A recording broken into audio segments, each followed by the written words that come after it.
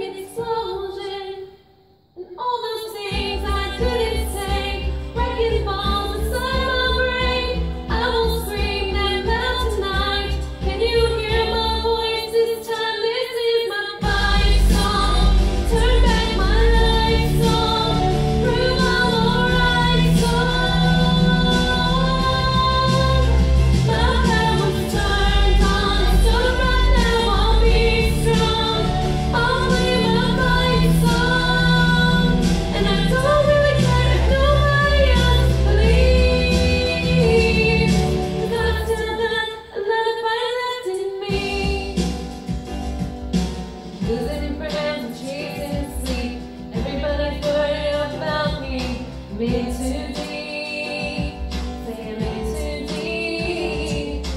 Meant to be. Years my home. Burned in my bones. Still believe. Yeah, still believe.